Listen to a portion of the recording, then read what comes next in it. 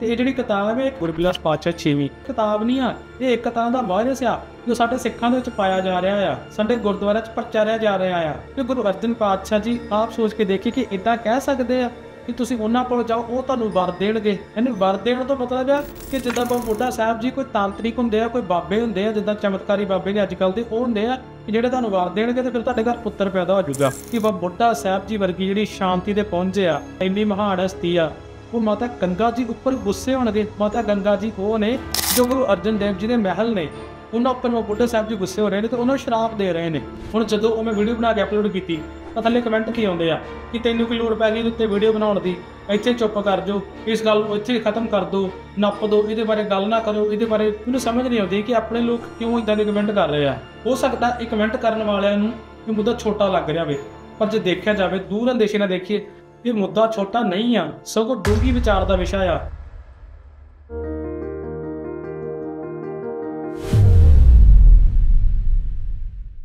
ਵਾਹਿਗੁਰੂ ਜੀ ਕਾ ਖਾਲਸਾ, ਵਾਹਿਗੁਰੂ ਜੀ ਕੀ ਫਤਿਹ।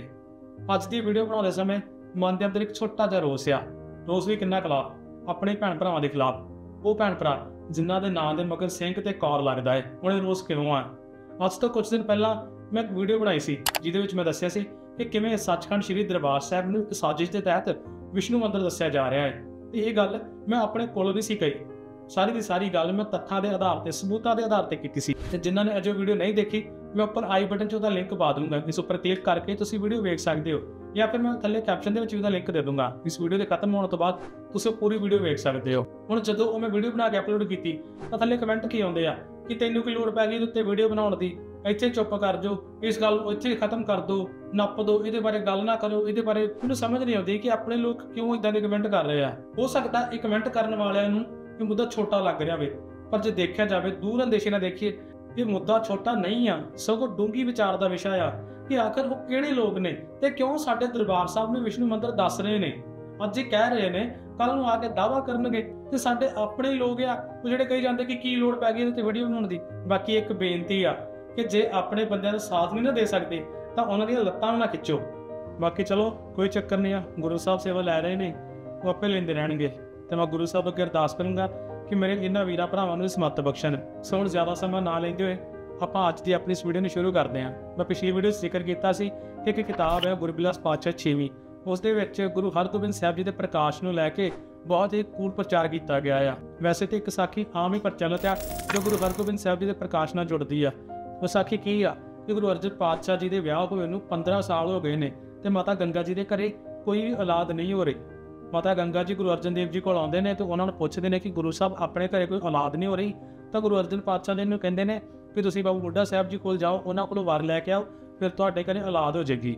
ਇਸ ਤੋਂ ਬਾਅਦ ਮਾਤਾ ਗੰਗਾ ਜੀ ਇੱਕ ਰਾਤ ਉੱਪਰ ਸਵਾਰ ਹੋ ਕੇ ਆਪਣੀਆਂ ਦਾਸੀਆਂ ਦੇ ਨਾਲ ਬਾਬਾ ਬੁੱਢਾ ਜੀ ਕੋਲ ਜਾਂਦੇ ਨੇ। ਬਾਬਾ ਬੁੱਢਾ ਜੀ ਉੱਥੇ ਉਹਨਾਂ ਨੂੰ ਸ਼ਰਾਬ ਦੇ ਦਿੰਦੇ ਨੇ, ਮਾਤਾ ਗੰਗਾ ਜੀ ਵਾਪਸ ਆਉਂਦੇ ਨੇ। ਫਿਰ ਗੁਰੂ ਅਰਜਨ ਪਾਤਸ਼ਾਹ ਜੀ ਮਾਤਾ ਗੰਗਾ ਜੀ ਨੂੰ ਕਹਿੰਦੇ ਨੇ ਕਿ ਤੁਸੀਂ ਮਿੱਸੇ ਪ੍ਰਸ਼ਾਦੇ ਪਕਾ ਕੇ ਗੰਡਾ ਨਾਲ ਲੈ ਕੇ, ਲੱਸੀ ਲੈ ਕੇ ਨੰਗੇ ਪੈਰੀ ਉਹਨਾਂ ਦੇ ਕੋਲ ਜਾਓ, ਫਿਰ ਤੁਹਾਨੂੰ ਪੁੱਤਰ ਦੀ ਪ੍ਰਾਪਤੀ ਹੋਵੇਗੀ। ਤਾਂ ਬੁੱਢਾ ਸਾਹਿਬ ਜੀ ਮਾਤਾ ਗੰਗਾ ਜੀ ਵੱਲੋਂ ਲਿਆਂਦੇ ਹੋਏ ਪ੍ਰਸ਼ਾਦੇ ਗੰਡੇ ਦੇ ਲੱਸੀ ਵਿੱਚੋਂ ਗੰਡਾ ਕੱਢਦੇ ਨੇ।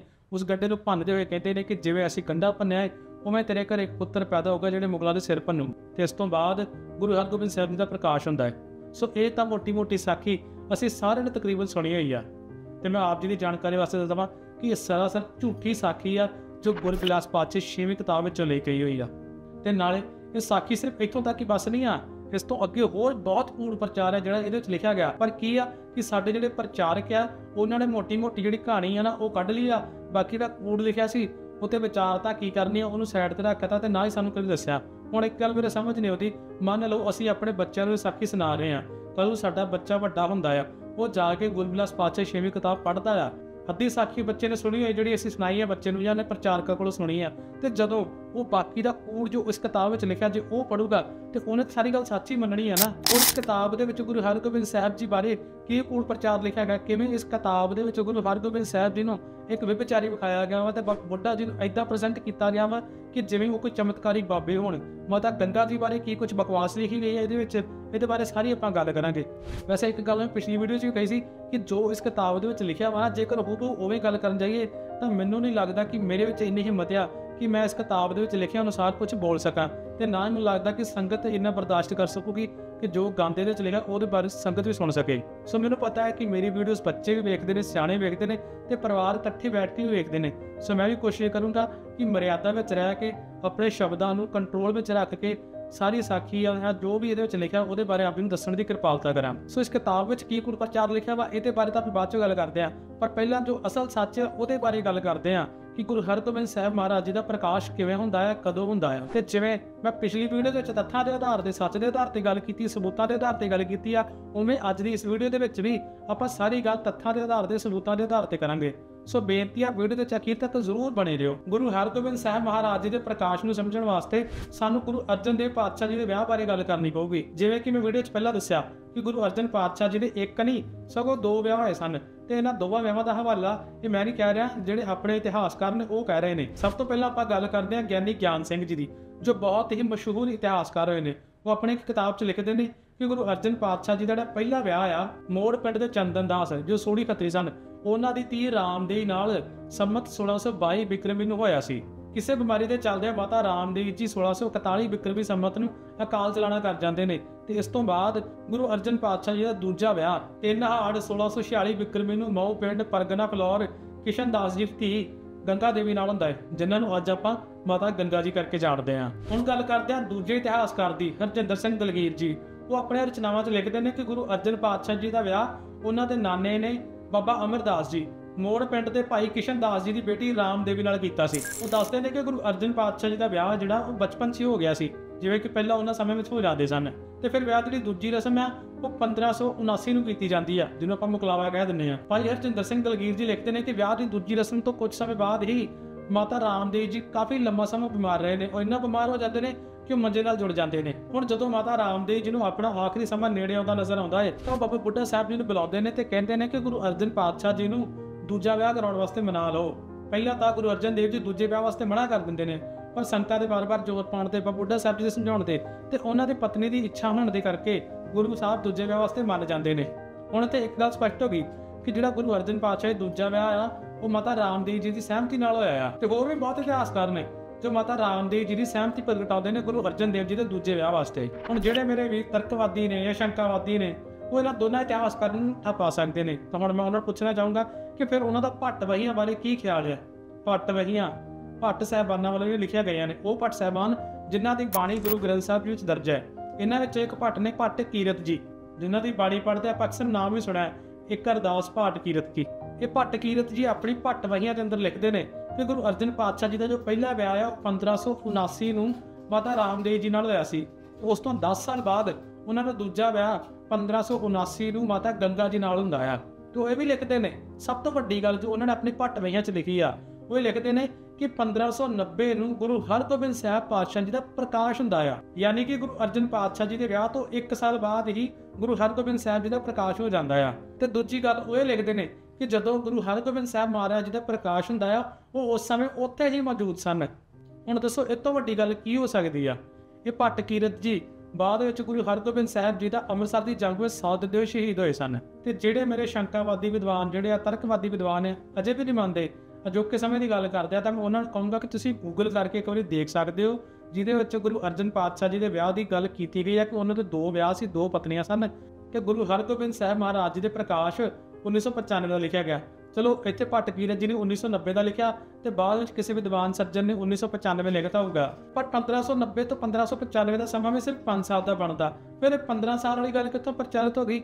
ਮੈਨੂੰ ਇਹ ਸਮਝ ਨਹੀਂ ਲੱਗੀ। ਸੋ ਇਹਨਾਂ ਸਾਰੇ ਸਰੋਤਾਂ ਤੋਂ, ਇਹਨਾਂ ਸਾਰੇ ਹਵਾਲਿਆਂ ਤੋਂ ਇੱਕ ਗੱਲ ਤਾਂ ਪੱਕੀ ਹੋ ਜਾਂਦੀ ਆ ਕਿ ਗੁਰੂ ਹਰਗੋਬਿੰਦ ਸਾਹਿਬ ਮਹਾਰਾਜ ਜੀ ਦਾ ਜਿਹੜਾ ਪ੍ਰਕਾਸ਼ ਆ, ਉਹ ਮਾਤਾ ਗੰਗਾ ਜੀ ਦੇ ਵਿਆਹ ਤੋਂ ਸਾਲ ਬਾਅਦ ਜਾਂ ਉਹ ਤੋਂ 5 ਸਾਲ ਬਾਅਦ ਹੋ ਜਾਂਦਾ ਆ।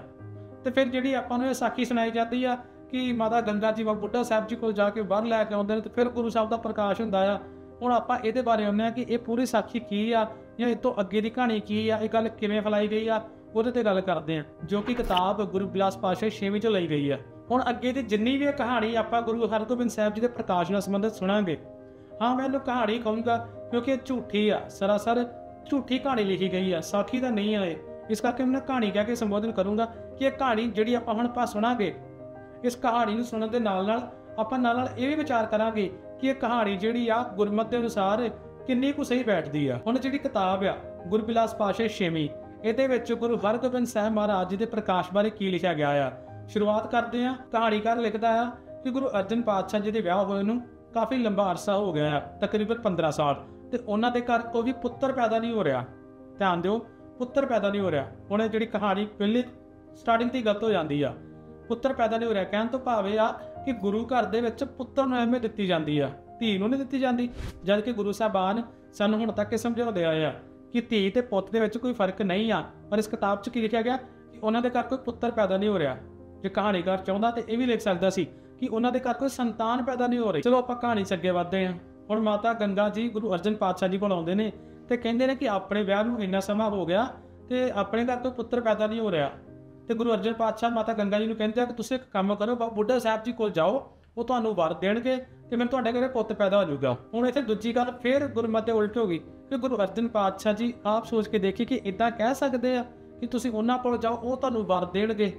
ਯਾਨੀ ਵਰ ਦੇਣ ਤੋਂ ਮਤਲਬ ਆ ਕਿ ਜਿੱਦਾਂ ਬਾਬਾ ਬੁੱਢਾ ਸਾਹਿਬ ਜੀ ਕੋਈ ਤਾਂਤਰਿਕ ਹੁੰਦੇ ਆ, ਕੋਈ ਬਾਬੇ ਹੁੰਦੇ ਆ, ਜਿੱਦਾਂ ਚਮਤਕਾਰੀ ਬਾਬੇ ਨੇ ਅੱਜ ਕੱਲ ਦੇ, ਉਹ ਹੁੰਦੇ ਆ ਕਿ ਜਿਹੜੇ ਤੁਹਾਨੂੰ ਵਰ ਦੇਣਗੇ ਤੇ ਫਿਰ ਤੁਹਾਡੇ ਘਰ ਪੁੱਤਰ ਪੈਦਾ ਹੋ ਜਾਊਗਾ। ਹੁਣ ਕਹਾਣੀਕਾਰ ਅੱਗੇ ਕੀ ਲਿਖਦਾ ਆ ਕਿ ਮਾਤਾ ਗੰਗਾ ਜੀ ਰੱਥ ਦੇ ਵਿੱਚ ਸਵਾਰ ਹੋ ਕੇ ਆਪਣੀਆਂ ਦਾਸੀਆਂ ਜਿਹੜੀਆਂ ਚੇਲੀਆਂ, ਉਹਨਾਂ ਨੂੰ ਨਾਲ ਲੈ ਕੇ ਤੇ ਬਾਬਾ ਬੁੱਢਾ ਸਾਹਿਬ ਜੀ ਕੋਲ ਜਾਂਦੇ ਨੇ। ਤੇ ਬਾਬਾ ਬੁੱਢਾ ਸਾਹਿਬ ਜੀ ਮਾਤਾ ਗੰਗਾ ਜੀ ਨੂੰ ਇਦਾਂ ਆਉਂਦੇ ਵੇਖ ਕੇ ਕਹਿੰਦੇ ਆ ਕਿ ਅੱਜ ਗੁਰੂ ਕਿਆ ਨੂੰ ਕੀ ਭੱਜਣਾ ਪੈ ਗਿਆ ਇਹ ਸੁਣਦਾ ਆ ਆਪਾਂ ਹੁਣ ਤੱਕ ਆਪਣੇ ਪ੍ਰਚਾਰਕਾਂ ਕੋਲੋਂ ਕਿ ਬਾਬਾ ਬੁੱਢਾ ਸਾਹਿਬ ਜੀ ਇਦਾਂ ਦੇ ਬਚਨ ਕਰਦੇ ਨੇ ਕਿ ਗੁਰੂ ਕਿਆ ਨੂੰ ਕੀ ਭੱਜਣਾ ਪੈ ਗਿਆ ਹੁਣ ਜਦੋਂ ਮਾਤਾ ਗੰਗਾ ਜੀ ਇਦਾਂ ਸ਼ਾਹੀ ਠਾਠ ਬਾੜ ਦੇ ਨਾਲ ਬਾਬਾ ਬੁੱਢਾ ਸਾਹਿਬ ਜੀ ਕੋਲ ਜਾਂਦੇ ਨੇ, ਤਾਂ ਉਹ ਬੁੱਢਾ ਸਾਹਿਬ ਜੀ ਉਹਨਾਂ ਤੇ ਕ੍ਰੋਧਿਤ ਹੋ ਜਾਂਦੇ ਨੇ ਤੇ ਉਹਨਾਂ ਨੂੰ ਸ਼ਰਾਬ ਦੇ ਦਿੰਦੇ ਨੇ। ਹੁਣ ਇਹ ਗੱਲ ਦੇਖੋ ਕਿ ਕਿੰਨੀ ਕੁ ਗੁਰਮਤ ਦੇ ਨਾਲ ਜਾਂਦੀ ਆ ਕਿ ਬਾਬਾ ਬੁੱਢਾ ਸਾਹਿਬ ਜੀ ਵਰਗੀ ਜਿਹੜੀ ਸ਼ਾਂਤੀ ਦੇ ਪਹੁੰਚੇ ਆ, ਠੀਕ ਹੈ, ਇੰਨੀ ਮਹਾਨ ਹਸਤੀ ਆ, ਉਹ ਮਾਤਾ ਗੰਗਾ ਜੀ ਉੱਪਰ ਗੁੱਸੇ ਹੋਣਗੇ। ਮਾਤਾ ਗੰਗਾ ਜੀ ਉਹ ਨੇ ਜੋ ਗੁਰੂ ਅਰਜਨ ਦੇਵ ਜੀ ਦੇ ਮਹਿਲ ਨੇ, ਉਹਨਾਂ ਉੱਪਰ ਉਹ ਬੁੱਢਾ ਸਾਹਿਬ ਜੀ ਗੁੱਸੇ ਹੋ ਰਹੇ ਨੇ ਤੇ ਉਹਨਾਂ ਨੂੰ ਸ਼ਰਾਬ ਦੇ ਰਹੇ ਨੇ, ਜਦ ਕਿ ਗੁਰੂ ਘਰ ਦੇ ਅੰਦਰ, ਸਿੱਖੀ ਦੇ ਅੰਦਰ ਵਾਰ ਤੇ ਸ਼ਰਾਪ ਦੀ ਕੋਈ ਵੀ ਥਾਂ ਨਹੀਂ ਆ। ਹੁਣ ਆਪਾਂ ਕਹਾਣੀ ਚ ਅੱਗੇ ਵਧਦੇ ਆ ਮਾਤਾ ਗੰਗਾ ਜੀ ਵਾਪਸ ਗੁਰੂ ਅਰਜਨ ਪਾਤਸ਼ਾਹ ਜੀ ਕੋਲ ਆਉਂਦੇ ਆ ਤੇ ਉਹਨਾਂ ਨੂੰ ਕਹਿੰਦੇ ਆ ਕਿ ਮੈਨੂੰ ਤਾਂ ਬਾਬਾ ਬੁੱਢਾ ਸਾਹਿਬ ਨੇ ਸ਼ਰਾਬ ਦੇ ਦਿੱਤਾ, ਹੁਣ ਮੈਂ ਕੀ ਕਰਾਂ? ਤਾਂ ਗੁਰੂ ਅਰਜਨ ਪਾਤਸ਼ਾਹ ਜੀ ਮਾਤਾ ਗੰਗਾ ਜੀ ਨੂੰ ਪੁੱਛਦੇ ਆ ਕਿ ਤੁਸੀਂ ਗਏ ਕਿੱਦਾਂ ਸੀ?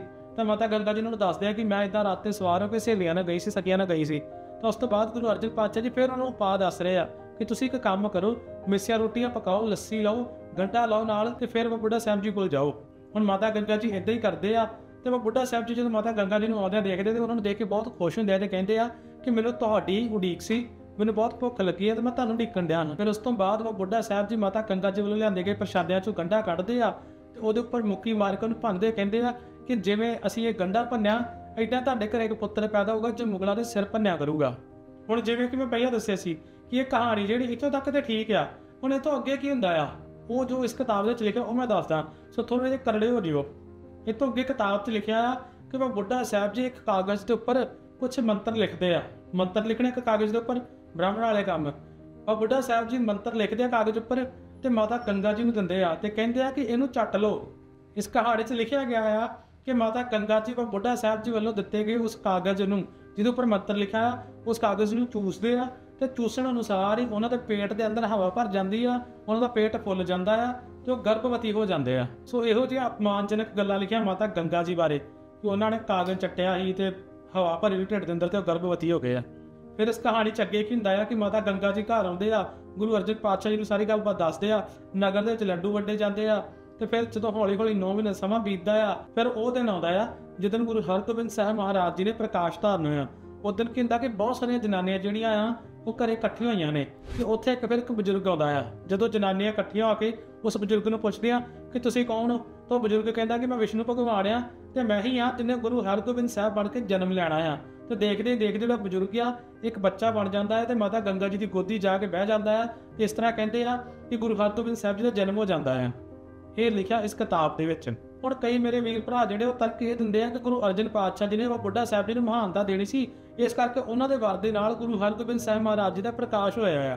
ਤਾਂ ਮੇਰਾ ਉਹਨਾਂ ਨੂੰ ਇੱਕ ਸਵਾਲ ਆ ਕਿ ਬਾਬਾ ਬੁੱਢਾ ਸਾਹਿਬ ਜੀ ਗੁਰੂ ਨਾਨਕ ਸਾਹਿਬ ਦੇ ਸਮੇਂ ਤੋਂ ਆ, ਬਾਬਾ ਬੁੱਢਾ ਸਾਹਿਬ ਜੀ ਉਹ ਮਹਾਨ ਸ਼ਖਸੀਅਤਾਂ ਨੇ, ਜਿਨ੍ਹਾਂ ਨੇ 6 ਗੁਰੂ ਸਾਹਿਬਾਨ ਨੂੰ ਆਪਣੇ ਹੱਥੀ ਤਿਲਕ ਲਗਾਇਆ ਆ।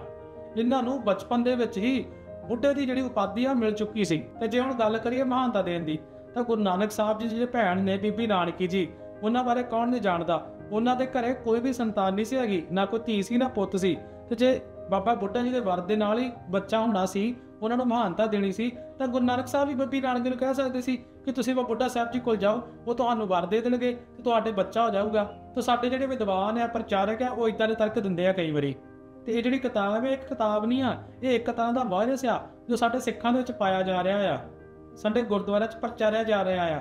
ਹੁਣ ਜੇ ਗੱਲ ਕਰਾਂ ਕਿ ਇਹ ਕਿਤਾਬ ਕਿੰਨਾ ਵੱਲੋਂ ਲਿਖੀ ਗਈ ਆ, ਤਾਂ ਮੈਂ ਆਪ ਜੀ ਦੀ ਜਾਣਕਾਰੀ ਵਿੱਚ ਦੱਸ ਦਵਾਂ ਕਿ ਜਿਹੜੀ ਕਿਤਾਬ ਆ ਗੁਰਬਿਲਾਸ ਪਾਤਸ਼ਾਹ ਛੇਵੀਂ, ਇਹ ਮੀਡੀਆ ਵੱਲੋਂ ਲਿਖੀ ਗਈ ਆ। ਮੀਡੀਆ ਕੌਣ ਸੀ? ਜਿਹੜਾ ਧੀਰ ਮੱਲ ਹੋਇਆ ਵਾ, ਜੋ ਗੁਰੂ ਘਰ ਦਾ ਵਿਰੋਧੀ ਸੀ, ਉਹਦਾ ਜਿਹੜਾ ਪਰਿਵਾਰ, ਜਿਹੜਾ ਵੰਸ਼ ਅੱਗੇ ਚੱਲਿਆ ਨਾ, ਉਹਨਾਂ ਨੇ ਇੱਕ ਕਿਤਾਬ ਲਿਖਾਈ ਸੀ ਜਾਣ ਬੁੱਝ ਕੇ, ਤਾਂ ਜੋ ਗੁਰੂ ਅਰਜਨ ਪਾਤਸ਼ਾਹ ਜੀ ਦੇ ਅਕਸ ਨੂੰ ਵਿਗਾੜਿਆ ਜਾ ਸਕੇ ਤੇ ਉਹਨਾਂ ਦੀ ਜਿਹੜੀ ਮਾਨਤਾ ਹੈ ਘੱਟ ਹੋ ਸਕੇ। ਤੇ ਜਿਹੜੀ ਦੂਜੀ ਗੱਲ ਮੈਨੂੰ ਸਮਝ ਆਉਂਦੀ ਆ, ਜਿਹੜੀ ਇਹਨਾਂ ਨੇ 15 ਸਾਲ ਵਾਲੀ ਗੱਲ ਲਿਖੀ ਹੈ ਕਿ 15 ਸਾਲ ਤੱਕ ਕੋਈ ਔਲਾਦ ਹੀ ਨਹੀਂ ਹੋਈ ਗੁਰੂ ਸਾਹਿਬ ਦੇ ਘਰੇ ਉਹ ਵੀ ਗੱਲ ਮੈਨੂੰ ਜਿਹੜੀ ਸਮਝ ਆਉਂਦੀ ਆ, ਉਹ ਇਹਨਾਂ ਨੇ ਪੂਰੀ ਗੱਲ ਨੂੰ ਲੈ ਕੇ ਉਹਨੂੰ ਤੋੜ ਮਰੋੜ ਕੇ ਪੇਸ਼ ਕੀਤਾ ਗਿਆ ਆ। ਉਦਾਹਰਨ ਦੇ ਤੌਰ ਤੇ ਜਿਵੇਂ ਆਪਾਂ ਦੇਖਦੇ ਆ ਕਿ ਗੁਰੂ ਸਾਹਿਬ ਜਿਹੜੇ ਪਹਿਲੇ ਪਤਰੀ ਸਨ, ਉਹ 10 ਸਾਲ ਤੱਕ ਬਿਮਾਰ ਰਹਿੰਦੇ ਆ।